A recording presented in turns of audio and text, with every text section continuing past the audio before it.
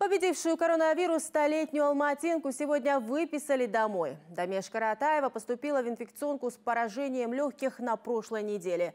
Все это время она проходила лечение. Несмотря на столь преклонный возраст, ей удалось исцелиться. С долгожительницей встретилась наша съемочная группа. Репортаж Динары Сабитовой.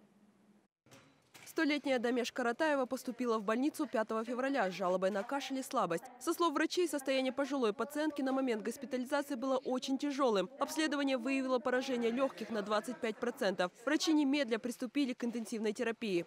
Бесспорно, самый большой факт – это ее настрой. Это безумно воздушный человек, радужный, солнечный. Очень жаль, что за маской вы не видите ее улыбки, но у нее удивительная улыбка. За скрывающейся под маской улыбкой большая радость Дамеш Каратаевой. Хоть и с трудом она говорит, что сейчас чувствует себя хорошо и с нетерпением ждет встречи с детьми и внуками. Спасибо большое врачам. С их помощью я так быстро встала на ноги. Желаю вам и вашим семьям крепкого здоровья, счастья и всего самого наилучшего.